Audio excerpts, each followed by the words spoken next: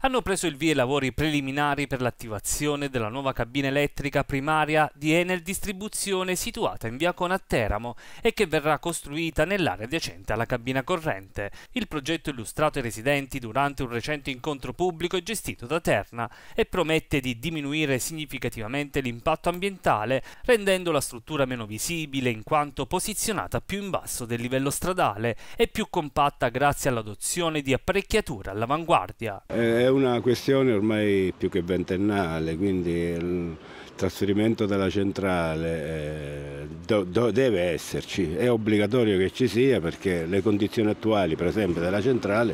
sono di un impianto fatiscente vecchio, assolutamente,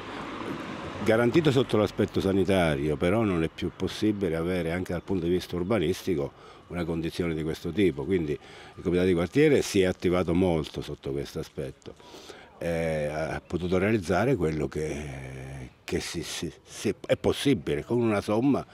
assolutamente insufficiente, quindi si fa un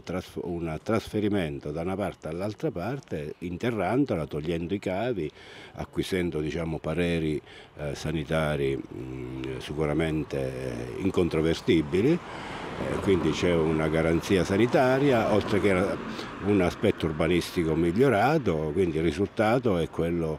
che si dovrà vedere. La ricollocazione della cabina è una richiesta persistente da parte dei residenti del quartiere Cona per oltre dieci anni si è rivelata l'unica opzione praticabile per rispettare i tempi e le modalità di realizzazione, consentendo l'impiego dei fondi regionali assegnati al Comune tramite il Masterplan. Questi fondi saranno impiegati per il recupero e il miglioramento dell'area occupata dalla vecchia cabina, che sarà resa nuovamente accessibile al pubblico. Per assicurare il collegamento della nuova cabina alla rete elettrica nazionale entro i termini imposti dal Comune, Terna ha ottenuto un'autorizzazione ministeriale per un allaccio temporaneo, in attesa che il progetto definitivo già sottoposto al Maser riceva l'approvazione e sia completato entro i prossimi anni. Terna prevede di terminare questa fase di lavori che coinvolgerà principalmente via Polidori entro il 2024 mentre l'attivazione della nuova cabina da parte di Enel Distribuzione è prevista per la fine del 2024.